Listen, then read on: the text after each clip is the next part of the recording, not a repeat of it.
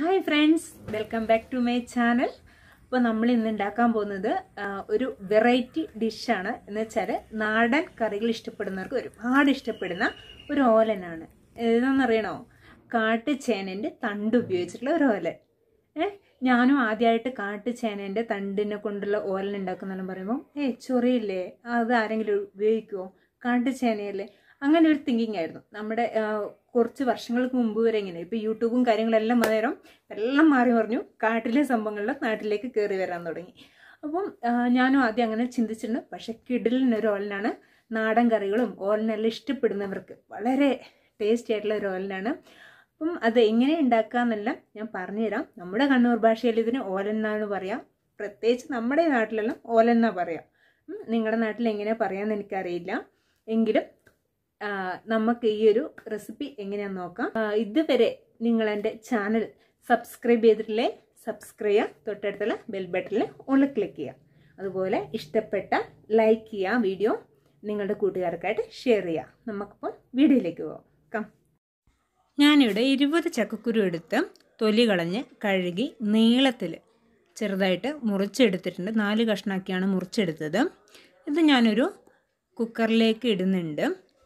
ഇതിലേക്ക് ഞാൻ കുറച്ച് പച്ചവെള്ളം ഒഴിച്ച് അടുപ്പത്ത് വെച്ച് വേവിക്കാൻ നോക്കിയാണ്. ഇതിലേക്ക് വേറെ ഒന്നും തന്നെ ഇടേണ്ട ആവശ്യമില്ല. അങ്ങനെ ചക്കക്കുരു അടുപ്പത്തു നിന്ന് വേകട്ടെ. ഈ സമയം കൊണ്ട് നമ്മൾ മുറിച്ച് വെച്ച കാട്ടുചേനേന്റെ തണ്ട് നമുക്ക് വൃത്തിയാക്കി എടുക്കാം. ഇതാണ് കാട്ടുചേനത്തണ്ട് അപ്പോൾ ഇത് കണ്ടോ ഈ ഇലയുടെ ഭാഗം വിടർന്നിട്ടില്ല. വിടരാത്ത കാട്ടുചേനേന്റെ തണ്ടാണ്. വിടർന്നത് ഉപയോഗിച്ചിട്ടുണ്ടെങ്കിൽ ചൊറിയെന്നെല്ലാം പറയുന്നത് കേട്ടിട്ടുണ്ട്.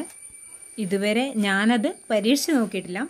ഇപ്പം നമ്മുടെ ഈ ചേനക്കൈന്റെ സീസണാണ്. ഈ ഒരു മഴ തുടങ്ങുന്ന ഈ ഒരു ടൈമിലാണ് കാട്ടുചേനേന്റെ തൈയെല്ലാം മുളച്ച് വരുന്ന സമയം. അത് നമ്മുടെ ഈ കശുമാവിൻ തോട്ടത്തിലും റബ്ബർ തോട്ടത്തിലെല്ലാമായിട്ടാണ് കൂടുതലായിട്ട് കണ്ടുവരിക.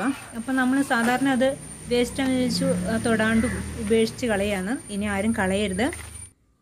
ഞാനൊരു തൈ കാണിച്ചു തരാം. ഈ തൈ കണ്ടോ? ഇത് നമ്മുടെ ഇലയെ ശരിക്കും വിടർന്ന് വന്നിട്ടില്ല. ഇതുപോലെയുള്ള തണ്ടാണ് നമ്മൾ എടുക്കേണ്ടത്. ഇതധികം മൂക്കാത്ത തണ്ടാണ്. അതുകൊണ്ട് ചൊറിച്ചിലൊട്ടും തന്നെ ഉണ്ടായില്ല. അപ്പോൾ ഇതുപോലെ വിടരാത്ത തണ്ട് എടുക്കുക. ഇത് കണ്ടോ? ഇത് വിടർന്ന തണ്ടാണ് കേട്ടോ. ഇത് വിടർന്ന തണ്ട് എടുക്കാൻ പാടില്ല. ചൊറിയെന്നെല്ലാം പറയുന്ന കേട്ടിട്ടുണ്ട്. അപ്പോൾ നമുക്ക് ഇതൊന്ന് വൃത്തിയാക്കി എടുക്കാം. ഇതിന്റെ ഈ മുകൾ ഭാഗം നമുക്ക് മുറിച്ച് മാറ്റാം. ഈ ഇലയും വറവാക്കുന്ന സാധനമാണ്.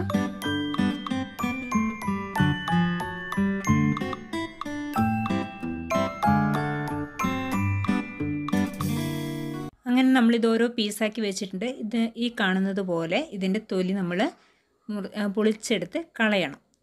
പൂർണമായിട്ടും എല്ലാ തൊലികളും പൂർണമായിട്ടും പൊളിച്ചെടുത്ത് കളയണം. ഒരു ചൊറിച്ചിലോ കാര്യങ്ങളോ ഒന്നുമില്ല. അതുകൊണ്ട് ഞാൻ ഗ്ലൗസ് ഒന്നും ഉപയോഗിക്കാണ്ട് തന്നെയാണ് ഞാൻ ഈ തണ്ട് പിടിച്ചിരിക്കുന്നത്. അതുകൊണ്ട് ധൈര്യമായിട്ട് ചെയ്യാം. പിന്നെ അലർജി ഉള്ളവരെല്ലാം ശ്രദ്ധിക്കണം. എനിക്കിതിൽ അങ്ങനെ ഇതുവരെ ചൊറിച്ചിലൊന്നും ഫീൽ ചെയ്തിട്ടില്ല. പിന്നെ പ്രത്യേകിച്ച് ഇത് തീരെ മൂക്കാത്ത നല്ല തണ്ടായതുകൊണ്ട് നല്ല ടേസ്റ്റ് ആയിരിക്കും പെട്ടെന്ന് വെന്ത് പോകും കുറച്ച് മൂത്തതെല്ലാവുമ്പം കുറച്ചും കൂടി വേവ് ഉണ്ടാവും ഇതിന് പെട്ടെന്ന് വെന്ത് പോകുന്നതാണ്. അപ്പോൾ നമുക്കിതെല്ലാം ഒന്ന് വൃത്തിയാക്കിയെടുക്കാം.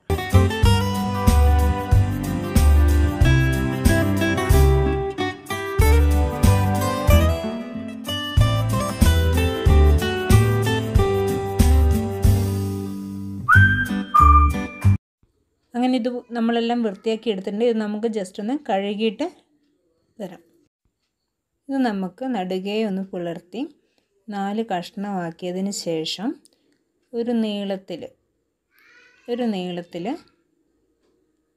ഈ ഒരു പാകത്തിന് ആ ഒരു നീളം വെച്ചിട്ട് മുറിച്ച് മുറിച്ച് നമ്മൾ ചേമ്പും കൈയെല്ലാം മുറിക്കുന്ന പോലെ മുറിച്ച് മുറിച്ച് റെഡിയാക്കി എടുക്കാം. അങ്ങനെ ഇത് റെഡിയായിട്ടുണ്ട്. നമ്മുടെ ചക്കക്കുരു ഒരു വിസിൽ വന്നിട്ട് ഓഫാക്കി വെച്ചിട്ടുണ്ട്.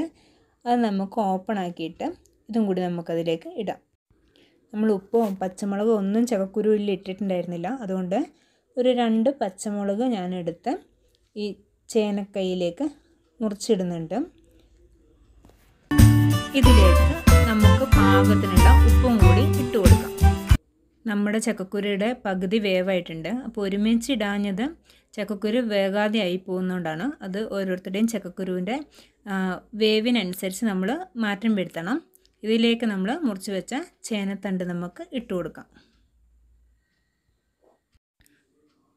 ഇത് നമുക്ക് ഒന്ന് മിക്സ് ആക്കാം. ഒന്ന് ഇളക്കി ഇളക്കി മിക്സ് ആക്കിയിട്ട് ഒന്നും കൂടി നമുക്ക് സ്റ്റൗവിൽ വെച്ച് ഒരു വിസിൽ വരുന്നവരെ വെയിറ്റ് ചെയ്യാം. അങ്ങനെ നമ്മൾ കുക്കറിലുള്ള കൂട്ട് വെന്തിട്ടുണ്ട്.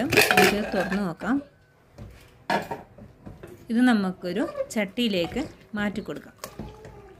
ഇത് നമ്മൾ ചട്ടിയിലേക്ക് മാറ്റിയിട്ടുണ്ട്. ഇത് നമുക്ക് അടുപ്പത്ത് വെച്ച് നന്നായിട്ടൊന്ന് തിളപ്പിച്ചെടുക്കാം. നമുക്ക് ഉപ്പൊക്കെ ഒന്ന് ടേസ്റ്റ് ചെയ്ത് നോക്കാം. ഉപ്പ് കുറവുണ്ടെങ്കിൽ ഈ ഒരു സമയത്ത് നമുക്ക് ആഡ് ചെയ്ത് കൊടുക്കാം. നന്നായിട്ട് തിളച്ച് ചക്കക്കുരുവിന്റെ ഒരു കൊഴുപ്പൊക്കെ ആ ഒരു കറിയിലേക്ക് വന്നിട്ടുണ്ട്. ചേനത്തണ്ടെല്ലാം പാകത്തിനായിട്ട് വെന്ത് കിട്ടിയിട്ടുണ്ട്. ഇതുണ്ടോ? ഇപ്പം നമ്മൾ ചേമ്പും കൈയെല്ലാം വെക്കുന്ന ഏകദേശം ആ ഒരു സ്ട്രക്ചറിൽ തന്നെയാണ് ഉള്ളത്. ഇനിയിപ്പം ചക്കക്കുരു ഇടാതെ ചേമ്പും കൈ മാത്രമായിട്ട് വെക്കണം എന്നുള്ളവർക്കും അങ്ങനെയും വെക്കാം. നാടൻ കറികളിൽ ഇഷ്ടപ്പെടുന്നവർക്ക് ഭയങ്കര ഇഷ്ടപ്പെടുന്ന ഒരു കറിയാണിത്. അപ്പം നിങ്ങൾ ഇനി നേരെ നിങ്ങളെ കശുമാവും തോട്ടത്തിലും റബ്ബർ തോട്ടത്തിലെല്ലാം ചെന്ന് നോക്കുക. ഇതുപോലെയുള്ള കാട്ട് ചേനേന്റെ തണ്ടുണ്ടോയെന്ന് ഒന്നും കളയണ്ട വേസ്റ്റ് ചെയ്യണ്ട.